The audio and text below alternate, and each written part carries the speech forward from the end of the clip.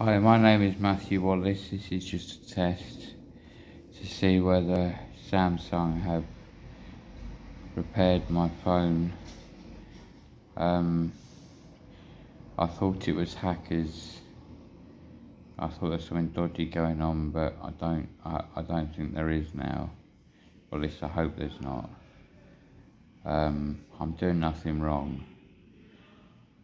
All I'm doing is trying to. Well, I mean, I just told the guys at EE and Samsung that, you know, it's when you have, you could call it a midlife crisis, but I've been through this, this stage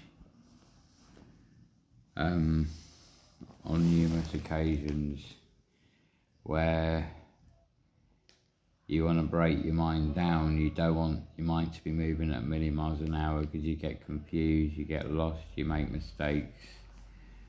Um, you look a bit stupid, you look like a fool, which is why I've decided to take the route I've decided to take in life, and that is by helping people I just told the guys, you know, helping the little old lady cross the road with her shopping and I've even actually, this might sound a bit weird and a bit mad, but I've actually actually fed this girl outside the pub opposite the Victoria Centre one night. This little homeless girl who's very hungry. Sweet little girl, but I've realised that you can't give to everyone and you've got to be careful who you're giving to I mean, Peterborough was the most dangerous position I've ever been in, where uh, where this girl, um,